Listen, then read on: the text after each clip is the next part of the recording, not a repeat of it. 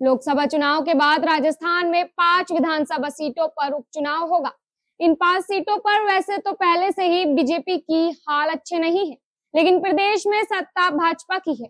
ऐसे में उपचुनाव ने सत्ता और संगठन दोनों की ही चिंता बढ़ा दी है। नमस्कार, मैं शेख जूही आप देख रहे हैं द नगरी न्यूज़।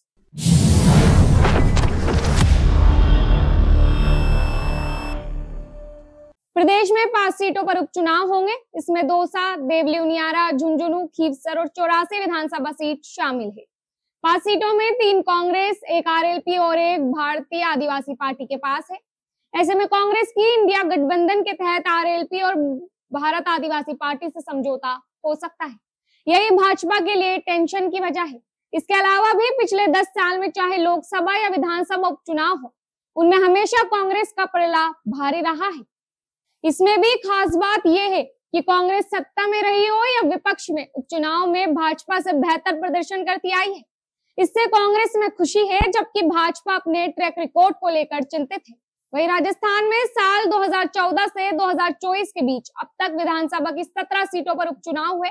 इनमें से कांग्रेस ने 12 सीटों पर जीत दर्ज की। साल 2014 के अप्रैल, मई में नासिरबाद, वेर, सूरजगढ़ और कोटा दक्षिण सीट पर उपचुनाव हुए। प्रदेश में भाजपा की सरकार होने के बाद भी चार सीटों में से सिर्फ़ एक सीट पर भाजपा जीत पाई। नसीराबाद, वेर और सूरजगढ़ पर कांग्रेस ने कब्जा जमाया, जबकि कोटा दक्षिण की सीट पर भाजपा के प्रत्याशी संदीप शर्मा ने जीत दर्ज की। इसके बाद साल 2017 में धौलपुर और 2018 में मांडलगढ़ विधानसभा सीटों पर भी उपचुनाव हुए, जिनमें से धौलपुर पर भाजपा और मांडलगढ़ पर कांग्रेस जीती। इसके बाद विधानसभा उपचुनाव 2019 से 22 के बीच में नौ सीटों पर उपचुनाव हुए।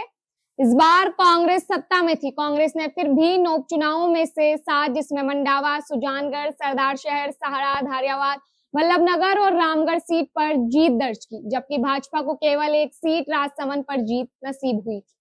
वही एक सीट, खीवसर पर राष्ट्रीय लोकतांत्रिक पार्टी ने जीत दर्ज की। वही 2014 में करणपुर विधानसभा सीट के लिए हुए उपचुनाव में भाजपा को हार का सामना करना पड़ा। जबकि यहाँ उपचुनाव से पहले ही भाजपा ने प्रत्याशी को मंत्री तक बना दिया था। बावजूद इसके जनता ने नकार दिया। अब बीजेपी इस उपचुनाव में अपने आप को मज़बूत कर पाएगी या हर दफ़ा की तरह उसको हार नसीब होगी? ये देखने वाली बात होगी। तमाम खबरों के लिए देखते रहिए द नगरी न्यूज़। शुक्रिया।